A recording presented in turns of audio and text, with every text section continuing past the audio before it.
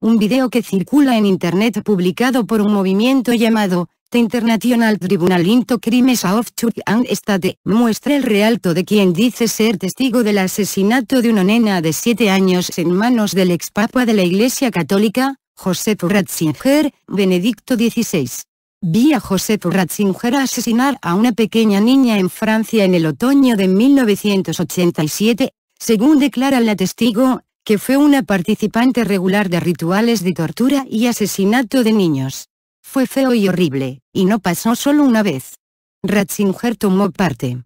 Eli, el cardenal católico holandés, Alfrink junto al fundador del club Bilderberg, Príncipe Bernard eran algunos de los más prominentes hombres que tomaron parte algunas especulaciones conspiranoicas señalan que el actual Papa Francisco estaría encubriendo a Ratzinger y que eso habría motivado algunas de las versiones que circularon en los últimos días sobre la posible renuncia de Bergoglio al papado.